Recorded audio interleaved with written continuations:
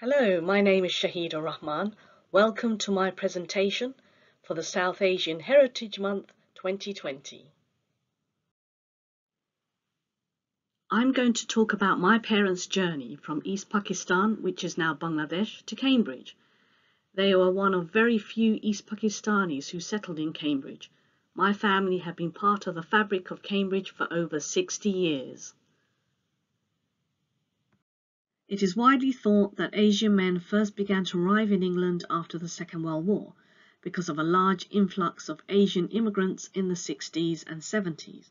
In fact, there was already a small South Asian population in Great Britain in the 16th and 17th centuries. Lascars were Asian seamen who worked aboard British steamships, and for over 350 years, Lascars were instrumental in the transport of goods from India to England. Lascars were led to believe that they'd enjoy a good life, earn good money to work on these ships, and it will give them an opportunity to visit rich foreign lands. When the early Muslims arrived, this was a foreign and unfamiliar land. Many were abandoned and left to fend for themselves. This message carried on through the decades. Men were in search of a good life and to flee from civil unrest in East Pakistan. This photo was taken in London in 1908 and it's copyrighted to the Museum of London. Indian ayahs cared for the children of British families both on land and on sea, and they contributed to life in India, aboard ships and in Britain. While only a few settled in the British Isles, they were the early 20th century migrants. Some were able to make their way home again, but others were abandoned and had to fend for themselves. Some begged on the streets to find money to go back home. Others often suffered poverty and poor living conditions. East Pakistan was formally established in 1947 and it became the independent state of Bangladesh on the 16th of December 1971, which was actually two days after I was born. 1957. Now, my father arrived in September 1957 in London first, and then came to Cambridge, where he settled here. Now, what was happening in that year? Well, the Chevrolet was the most popular car of the year. The Academy Awards Best Picture went to The Bridge on the River Kwai. Harold Macmillan was the Conservative Prime Minister after Anthony Eden resigned in January 1957. Some parts of the UK had the sunniest June on record since records began in 1889. And here is a poster talking about Asian flu. We rarely hear the stories about the Bengali woman who arrived in post-war Britain. My mother arrived on the 15th of January 1964 at London Airport, as it was known at the time. Today it is known as Heathrow Airport. My parents were apart for seven years before she came to England.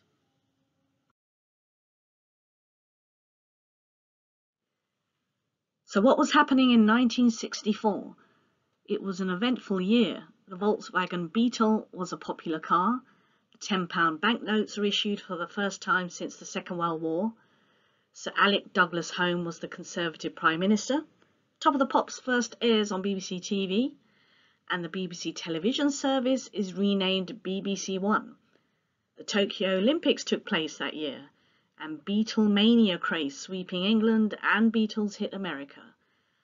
And the American Civil Rights Act was signed intending to end discrimination based on race, colour and religion.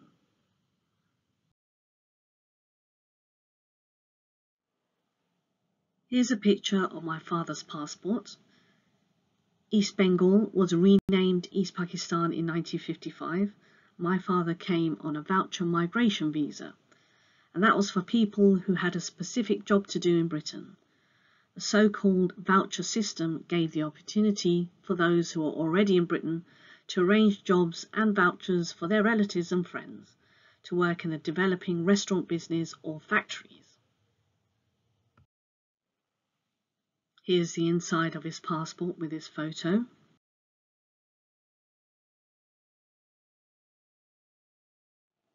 So this picture says he travelled on a previous passport, which means this was probably his second one. This is my mother's passport, and as you can see, it says it was made in November 1963 and she was a citizen of Pakistan. So most East Pakistani settlers were from Sylhet and they spoke the Sylheti dialect. So this is my mother's first passport and you can see the picture is attached with two rings, which is quite unusual. This is the only photo we have of her at the time um, and at the back of the photo it says my grandfather's name. Here's another image of the inside of her passport. Here's my mother's entry certificate. So for this generation in Bengali families, they had clear-cut roles for men and women. Men were the breadwinners of the family, and women were expected to stay at home. This is the earliest photo of my father. This portrait was taken at Ramsey Muspratt Studios. The photographic premises was in Post Office Terrace and they were best known as Ramsey and Muspratt Studios. All picture negatives are now held at the Cambridgeshire Collection. This is my father's home in the village of Donaram, Penchgonj in Bangladesh. This was built in 1967. My father worked 10 years in Britain, saved money to build this for his brother and his children. Most men who arrived here worked and sent money back home to support their families. This was the first house my father bought in the early 1960s, which was at 19 Willis Road in Cambridge. The average house price at that time was about £3,360. So when my mother first arrived, it was very, very cold. She came from a warm climate and she found it quite difficult to cope with the cold weather. Winters were much colder back then, the previous year, Britain experienced the coldest winter on record, and my father must have experienced that.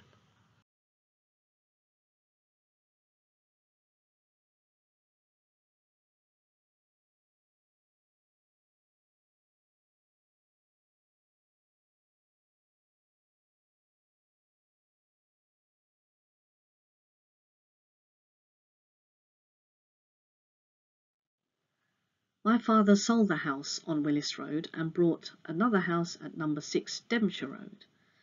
My mother rarely called her mother by phone. It was expensive to do so in those days. My grandmother's village did not have phones. To make calls meant they had to travel to the town centre to do this, which was quite far. My mother used to miss hearing her mother's voice. She couldn't read and write Bengali.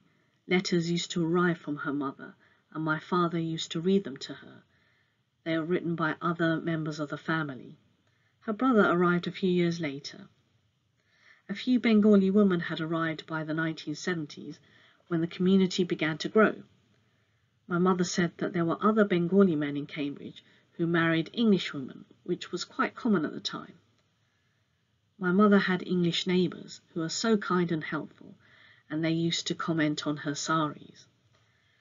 Those few Bengali men who lived in Cambridge used to go to my father's house on their day off work. Mum used to cook food for them. It was a place where they felt at home, being together, talking and eating curry. All men used to get together. It really boosted morale. Here's a rare colour photo of my three older brothers outside the house on Devonshire Road and this is the house that my parents were living in when my sister and I were born.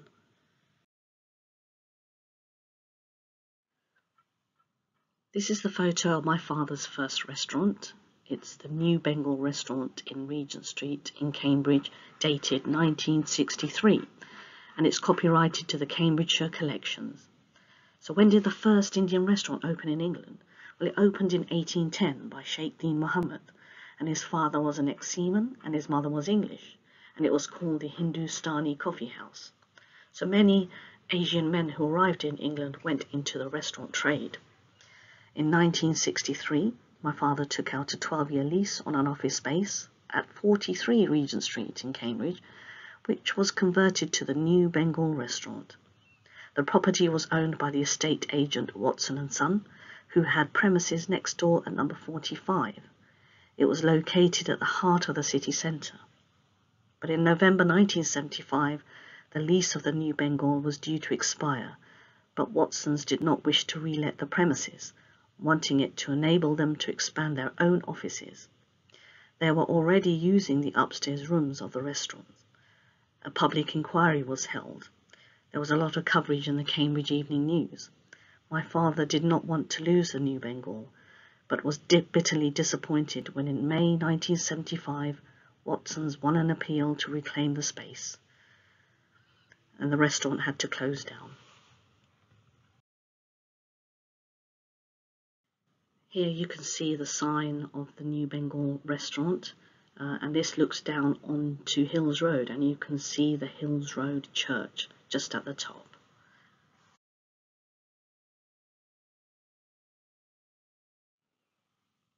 Here's another image of the restaurant. And many more Bengali men arrived by voucher migration. My father's cousins started to arrive. He helped many of his relatives come over. My parents' place was a place they all came to, a place to live initially, and a place to work at my father's restaurant. Here is a picture of the Mill Road Maternity Hospital. My siblings and I were born here. It's the oldest surviving building on Mill Road. It is now Ditchburn Place.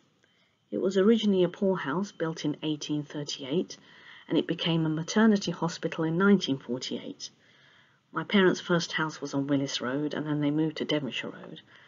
And uh, so we all grew up in the Mill Road area until 1976 when they moved to the Chesterton area. While the Western world was sporting miniskirts for the first time, Bengali women were donning sleeveless blouses with chiffon saris and body-hugging salwar kameez.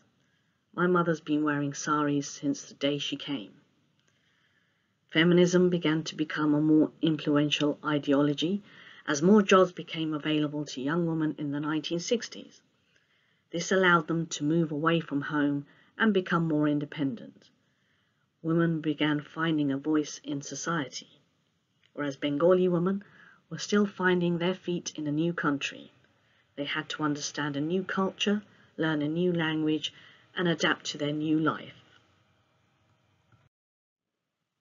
East Pakistan became the independent state of Bangladesh on the 16th of December 1971 after a nine-month war, and this was two days after my twin sister and I were born. This is the first flag of an independent Bangladesh with a country map, but it doesn't exist in the current flag today. This is a photo of my father's second restaurant, which was located on Fitzroy Street in Cambridge, and this photo is dated 1973. You can see the shoe shop next door called Freeman Hardy Willis. My father was very good friends with the owner and he used to take us there to buy shoes. My father passed away in 1985 and the restaurant was knocked down in the 1990s. My siblings discovered an ancestor this is a photo of Safat Ali. He arrived in America in 1925 and he settled in Brooklyn, New York. He married an African American woman and had two daughters, and their names were Rosemary and Robina. Rosemary died in 2006 and Robina is still alive today. But in the early 1940s, his wife died, and both daughters were put in a foster home and raised by a foster family. He was regarded as an illegal immigrant even though he entered the country legally. Safat Ali remained in contact with the daughters for a short period of time and eventually he stopped seeing his daughters for reasons we don't know about. By then he lived in Queens, New York. And years later he married another woman and had a son called George. His granddaughter is Andrea Ali White, and she made the connection on DNAancestry.com, and she got in touch with my late brother. Here are details of Safat Ali's arrival.